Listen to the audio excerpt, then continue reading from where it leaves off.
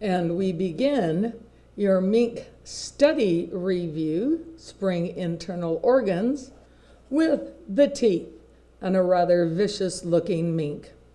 So if you look between what we commonly call the fangs, you see a spectacular set of teeny tiny little teeth located between the tweezers. And these are the incisors.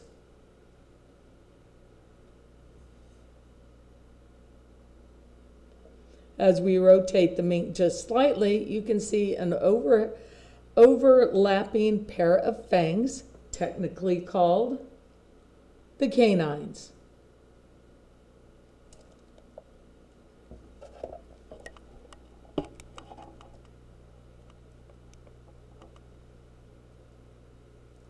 Right behind the canines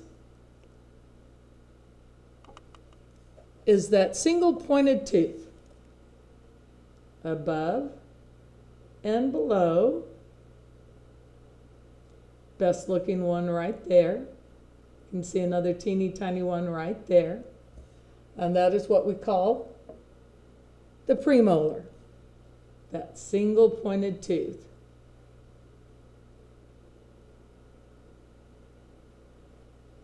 And right behind the premolars in the upper and lower jaw, we kind of reflect that skin back a bit. You've got a great view of the upper carnassial and a good view of the lower carnassial. There's a couple more premolars. But carnassials in the back of the mouth, the double pointed tooth.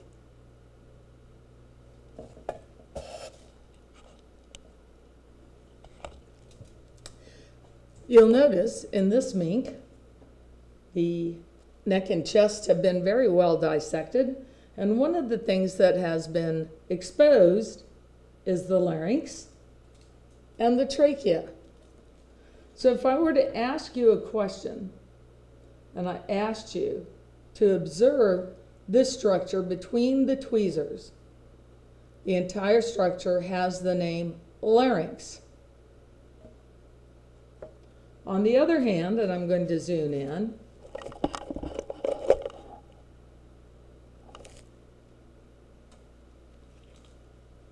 when I pull on this, create a little tension, we can see that our larynx is subdivided into a top half and a bottom half. So if I were to ask you to identify this cartilage of this organ, not tell you that it's the larynx. You would have to know that. On the top half, the larynx is the thyroid larynx. Excuse me, the thyroid cartilage.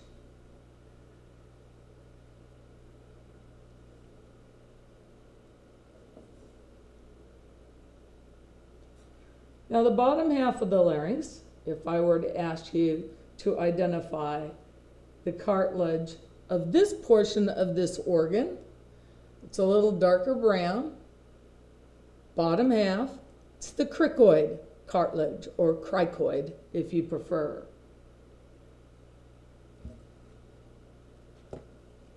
And if I were to simply say, identify this structure simply to trachea. Now, if we take a look at the very top of the larynx, there's a little triangular flap that sticks out, kind of like a tongue. Sometimes we refer to it as being triangular in nature, and that is the epiglottis. Now what I'm going to do is I'm going to snip it right in half at the trachea so we can look at it individually. So I'm going to pause for just a moment. I now have the larynx pressed down on the paper towel. A midline incision has been made in the very back. And now you can see from the inside another view of the epiglottis our little triangular flap. And you can see a slit. Very obvious on the right side, not quite so obvious on the left side, but you can see a little slit. And we can see there's a thin band of tissue above the slit. Let's try a slightly different approach. Ah, that's not going to work any better. But a little band of tissue just above the slit on either side. So if the question were to be, identify this tissue just above the visible slit, the response should be false vocal cords. Whereas below the slit, it appears to be more like a mound of tissue, kind of like a little semilunar valve. But again, a mound of tissue should be kind of light beige in color. And these are the true vocal cords, true vocal cords.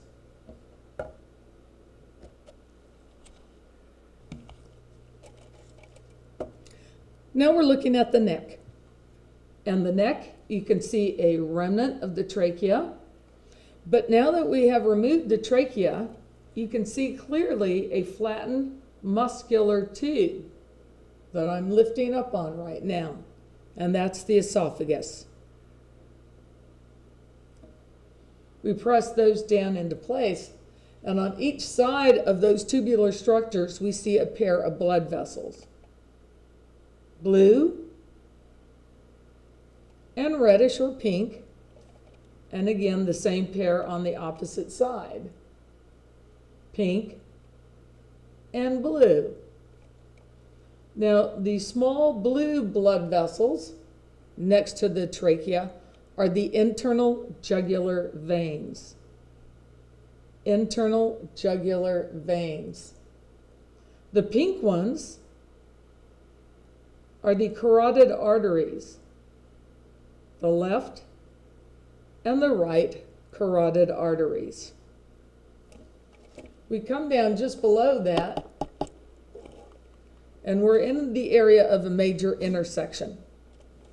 We look at this blue blood vessel right here, and in minks it's a very long vessel. In humans it's quite short.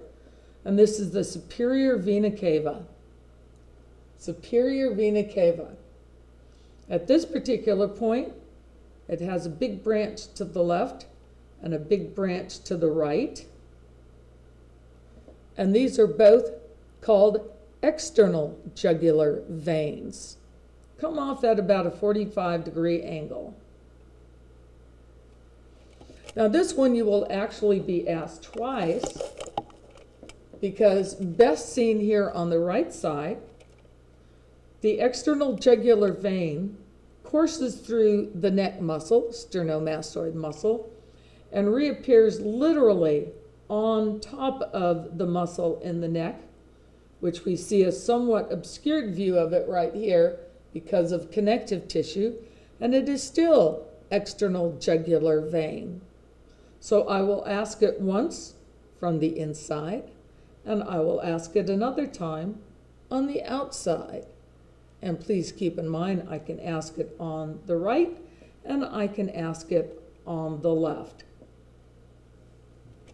We're going to come down just a little bit more.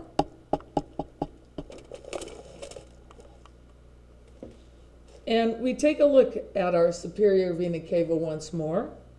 And we see this blue little stub hanging around. And this is the internal thoracic vein. When the rib cage covered the chest, this came down and it ran down the front of the rib cage. And now that it is gone, we have only a little remnant behind. One more time. Internal thoracic vein. And if you'll notice right here, coming from behind, off of a different vessel, is a little pink stub. A little pink stub and that is the internal thoracic artery. Also got cut away from the chest. Now, when we look here through the chest, from here to about right here, through the chest, here to about right here, the same. The operative word is subclavian. So if I point to blue in the chest, subclavian vein. If I point to pink, subclavian artery. A set on the right, and of course, a set on the left. Subclavian vein, subclavian artery.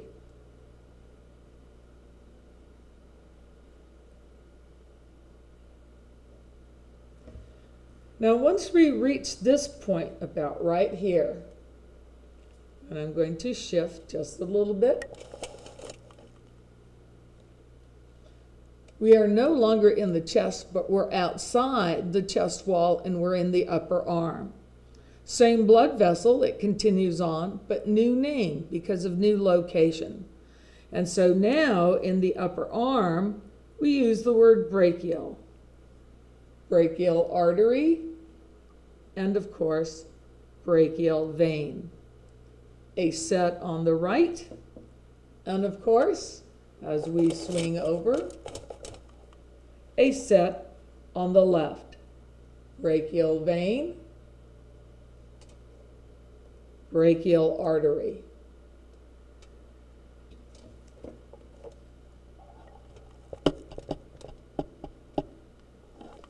Come down a bit further, and we can see the heart. And we see three blood vessels associated with the superior aspect of the heart. Once more, superior vena cava. But we'll notice to the left of that, two red blood vessels, or pinkish. The very first one that comes off the aortic arch it's called the brachiocephalic artery. And your brachiocephalic artery gives rise to your right carotid artery and your right subclavian artery. The second branch that comes off the aortic arch is entirely left subclavian artery. It gives rise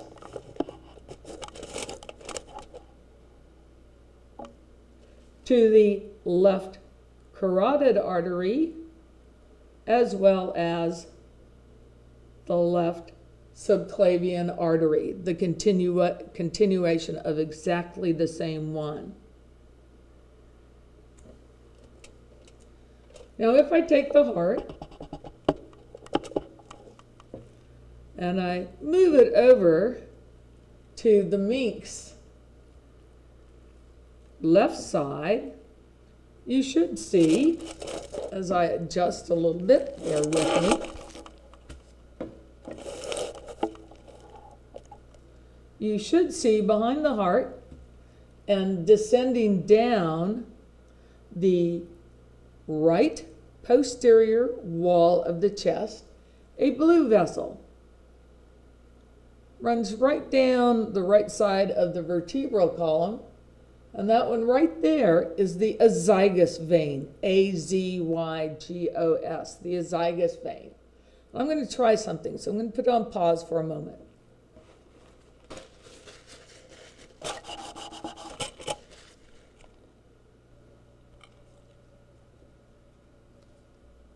Again, I just zoomed in. And again, the azygos vein. And coming off the azygos vein are little blue branches called intercostal veins. Kind of tough to see, but here's one right here that I'm wiggling on, right in between the tweezers, an intercostal vein.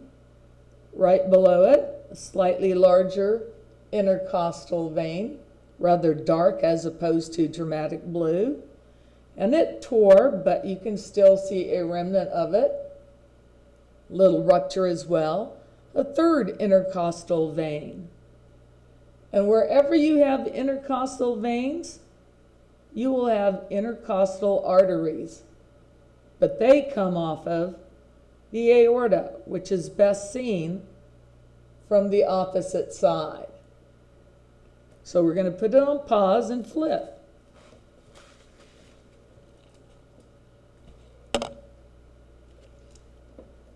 Unfortunately, the aorta, the largest artery in the body, came out a little brownish beigey as opposed to dramatic pink. But you can see the pink intercostal arteries coming off on the left side of the posterior chest wall. And you can see a nice intercostal vein and another intercostal vein that didn't get any latex. So a good view on the left side of, again, the posterior chest wall. Now if we follow the aorta up,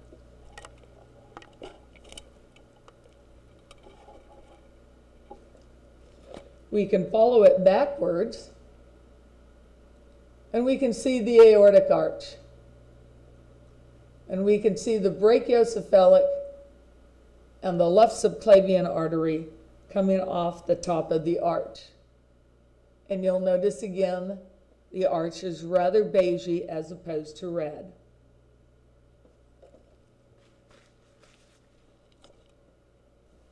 Now we're going to focus on the heart.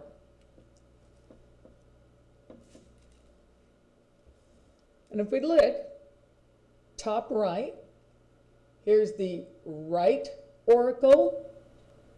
We don't call it an atrium because we're not looking inside. We rotate the mink, and here is a smaller, yet still chocolate brown, left auricle. This one you'll notice has been cut to sneak a peek on the inside. We look at the front of the heart, and right here below the right auricle is the right ventricle. Right below the left auricle is the left ventricle. The two ventricles are separated from one another by a slight indentation that runs down the front of the heart.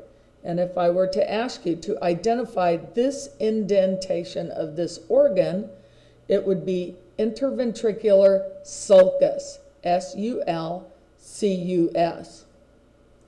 Now, there is another sulcus.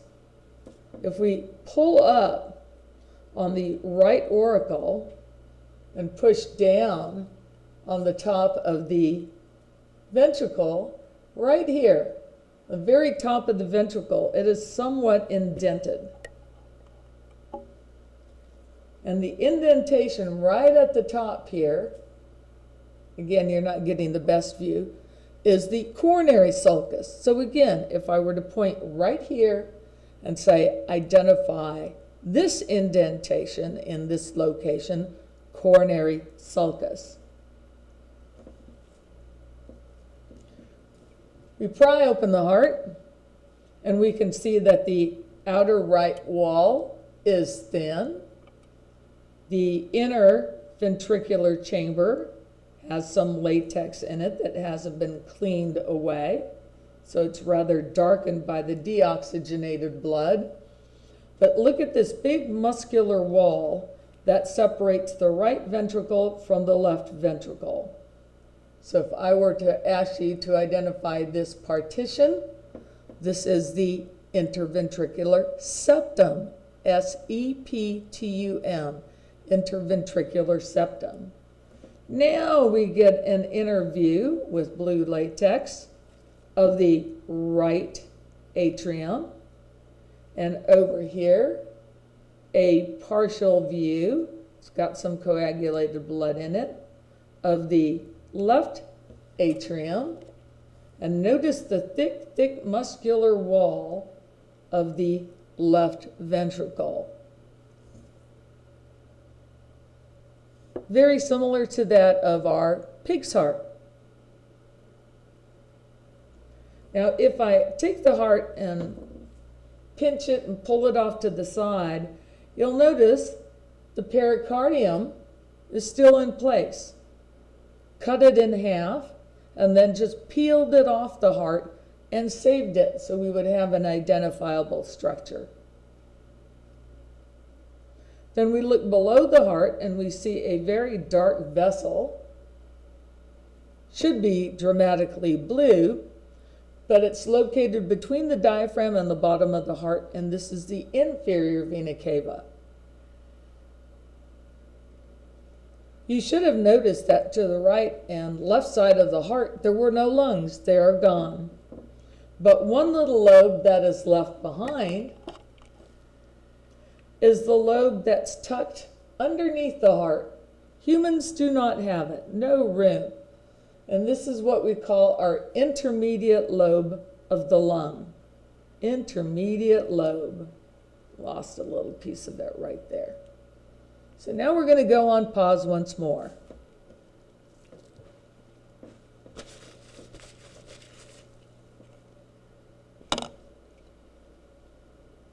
I now have a mink with a nice set of lungs for you. So move that arm out of the way and we rotate the mink slightly to its left side. We'll see on the right, we've got one, two, and a third lobe of the lung. So on the right side, you have what is called the apical lobe. The, the middle lobe is called the cardiac lobe. And that third lobe right down here which rests literally on the diaphragm, is therefore named the diaphragmatic lobe. On the left-hand side, so we rotate our mink, there's only two lobes, just like in humans, top and a bottom. But again, we use the word apical lobe for the uppermost one, and the diaphragmatic lobe for the lowest one.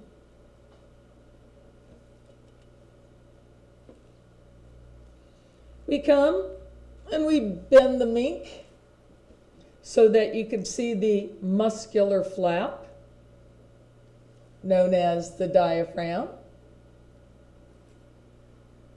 On this side, it's got a bit of fat on it. And if we take the diaphragm and we flip it back out of the way, we can see a little bit of connective tissue right here. And this connective tissue has a name. It's called the falciform ligament. Attaches a portion of the diaphragm to the top of the liver. Now, as we look at the liver, I'm going to cut away this string.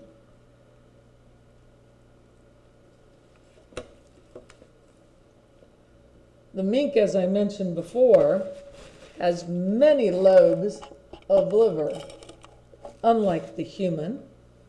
So the only thing I'm going to ask you to identify on the mink, whether I point to the right side, the middle, or the left side, you only have to identify liver. Now on this particular mink, it's rather difficult to see the gallbladder because it's tucked inside. So we're going to switch minks real quick. And we're back to our original mink. And the nice thing about this mink is there's a gap between these two middle lobes of the liver. And so if we pry it open, or maybe if we just cut a little piece of it away, we have a better view of a little sac that's tucked right inside. I'm trying to pinch it. And that's the gallbladder. Now, one of the things that you would find have difficulty in finding are the bile ducts. So, in that particular situation, I'm going to have you refer to page six in your mink packet to know the, uh, the various bile ducts. Okay, now we're going to leave the liver and we're going to take a look at the digestive system. And I just happen to one, have one nearby. This is a digestive system that's been removed from the mink so we can take a look at uh, abdominal anatomy uh, posteriorly in the mink more uh, clearly. So here's what we've got. Right up here with this midline incision is the stomach. And we can see that there's still a little stub of esophagus remaining from here to here. So if I were to ask you to simply identify this organ, it would be stomach. Now the stomach, if you take a look on page five, is divided into three regions. So if we look at the top one third, that which is closest to the heart, if I were to say identify this region, it would be cardiac region. On the other hand, the middlemost section, from here to here, if I were to ask you to identify this middle portion, it's the fundic region. And the bottom one third, where it's narrowed considerably, we would call the pyloric region. The stomach has an inner curvature or inner edge and an outer curvature or outer edge.